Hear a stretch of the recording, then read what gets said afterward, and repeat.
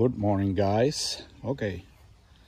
Today i gonna test the reason why this car do not crank from the ignition switch. And i gonna determine if it is the starter relay the ignition lock cylinder or the starter himself. Uh, just to give you an idea, let me take, uh, put the switch on, try to crank it, and all you hear is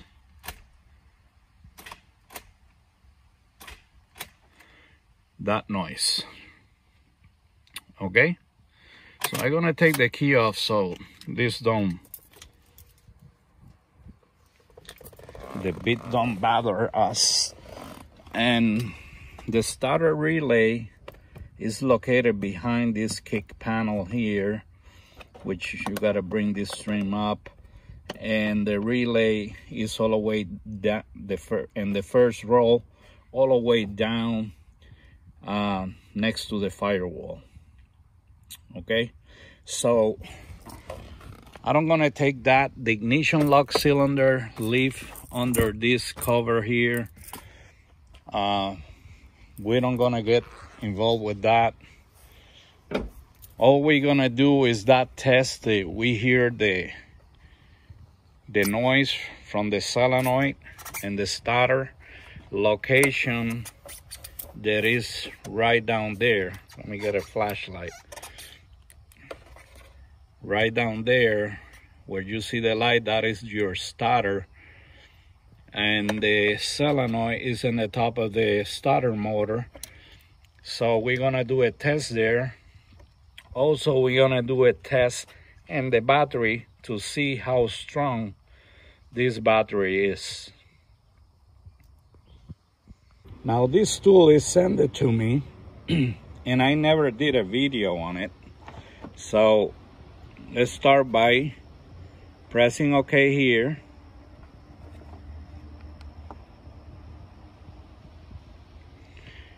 select language.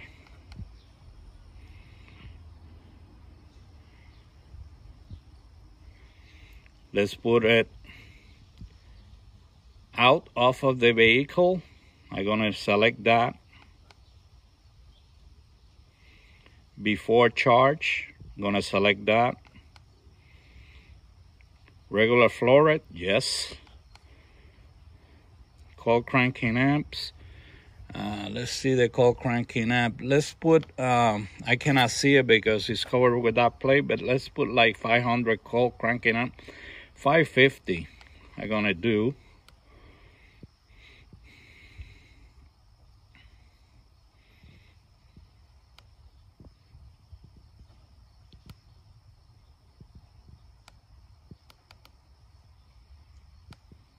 Five six is okay for me. It's testing.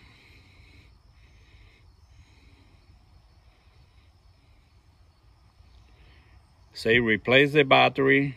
You got only 370 cold cranking amps. All right.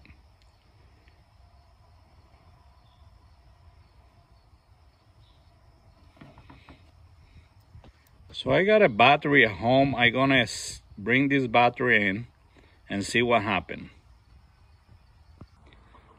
Now that I remove the battery, I give you a better location of the starter here, which is, this is the solenoid, and this is the starter motor. Seems to be this starter look like the original one, with that tag that you got there. This car is a 2006. Um, there's 17 millimeter bolt holding this starter you got one in the top and one in the bottom to get to the one in the bottom you probably got to remove this tray the battery base tray and uh, then remove the starter but let's put a battery on it because we want to make sure that the battery is good. I mean, we want to make sure we got a, enough cold cranking amps. And this battery that we take, it was like 300, which is not bad. You know, this, well, this is a six cylinder. If it was a four, I will say it's not bad, but six cylinder need a little bit more. But let's take that out of the, the picture and try the new battery and see what happens. Okay, another thing that you guys gotta keep in mind, you see when you introduce the key in the car, take a look of that little green key there. It goes off. That means the anti-theft is out of the picture. Now, if that light is remain on, uh, on with the switch on, meaning that and it's flashing also. You're gonna be flashing and it's on with the switch on. Your it needs to be programmed or you got it back. Lock ignition switch. But let's try it. I put a new battery. Let's try what happened.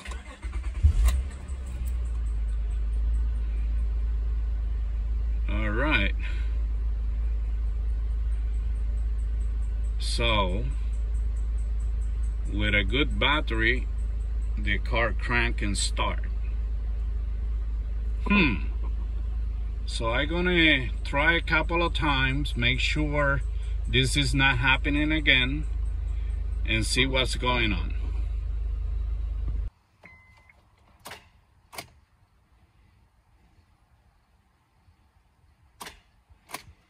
He's doing it again.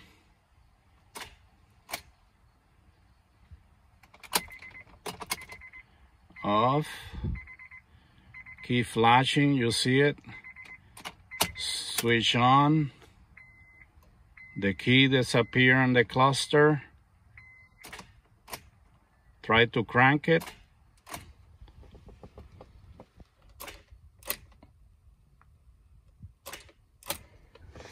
Nothing happens I think we got a bad starter here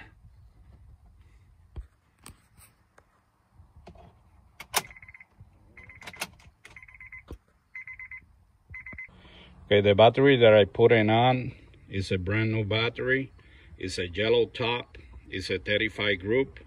And the cold cranking amp in this baby is 620. But if I measure this battery, it's gonna be more than that. Uh, those people who doesn't know, these little guys here, the range you gotta use a 10 millimeter okay let me put the machine and see how much cold cranking amps this battery is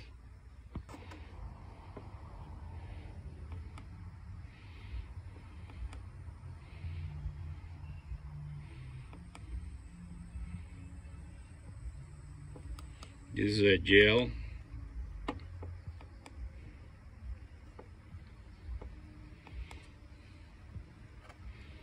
Six twenty.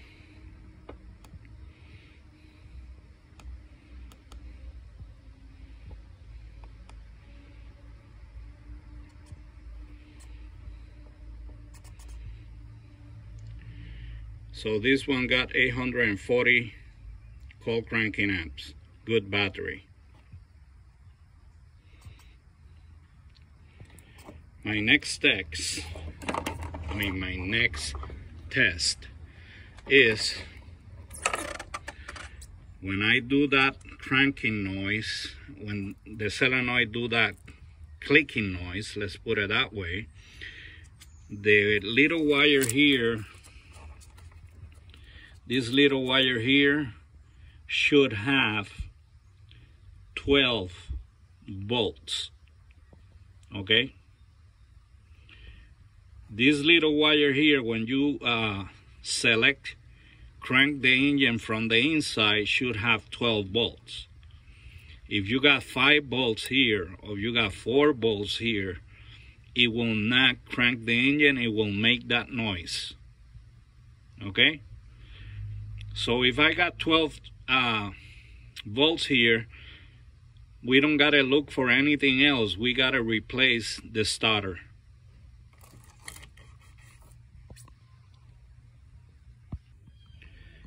Just take a look at that connection there from the solenoid, that the little wire and the solenoid that is very, very corroded. Green, corruption. Now, I'm gonna take this out and try to clean it and see if that change our situation. This is after I clean it. So let's see what happened here now. Okay, because I am by myself, um, this is the thing. I put my fancy oscilloscope, which is, you can use any meter, voltmeter or whatever. My black wire is connected to the negative of the battery. The yellow wire is connected to that little guy that I clean, okay? So when I crank the engine, my meter here,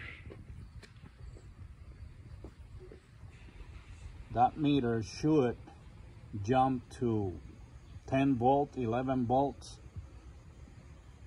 and see what happens. Now crank the engine.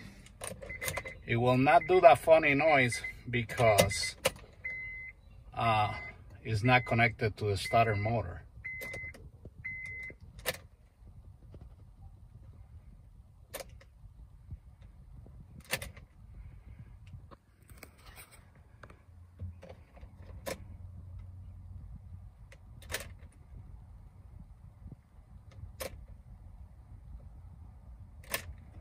as you can see as you can see is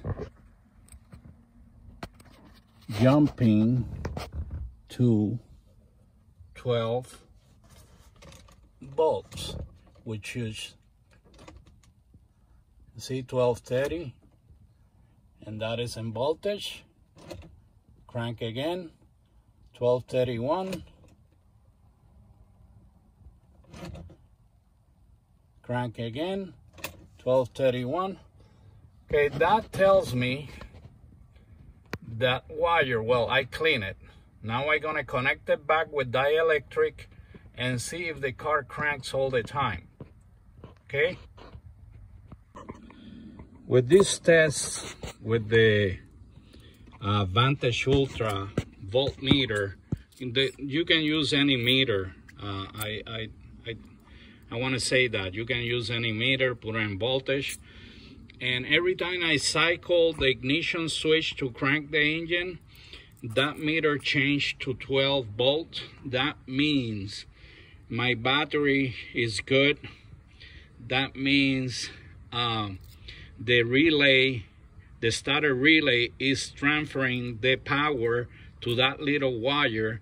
That means this ignition switch is working at that point to crank the engine. I'm saying they got other problems, but that means that this is uh, working, the circuit is working just to crank the starter. Now, if the starter is uh, doing the same thing that you hear that solenoid activating and the starter not cranking the engine, meaning that starter need to be replaced.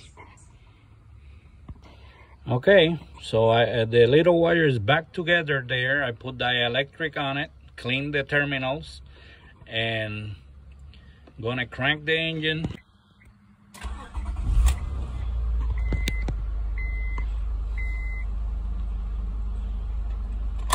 Turn that off. Crank it again.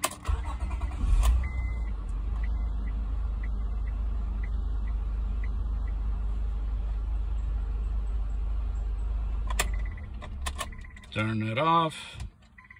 crank it again.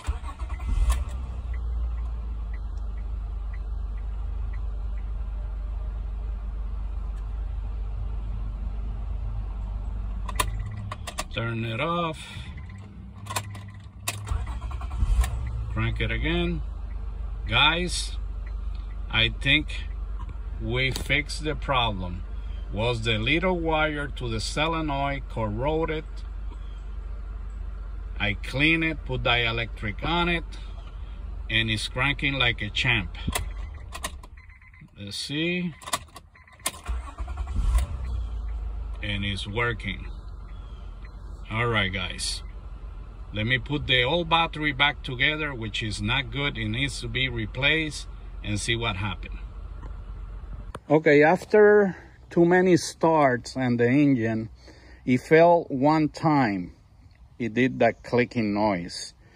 Uh, meaning uh, the cleaning is done. The battery, uh, we know that needs to be changed because it got low cold cranking amps. And the starter corruption in that terminal is very bad. Um, the one that I clean from the wire, that is good. But the corruption inside the solenoid is very bad. I try to clean it as best I can. But to be 100% sure and you don't, it doesn't fail again, I recommend to change the battery and replace the starter. One thing I don't show in the video was uh, I use this tool here Power Pro 4 to determine how good is the engine ground because when you got that clicking noise also could be an engine ground that is bad. What you do basically with this tool, you connect the red and black and the battery terminals and then the point here you touch the ground and the engine and have somebody cranking the engine.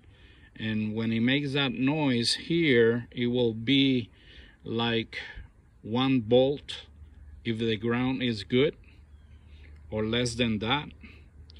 Um, if you got like seven six five four bolts coming up here when you crank the engine minus four and 12 it will be 8 volts. Yes you probably gonna have that clicking noise in the car and not cranking the engine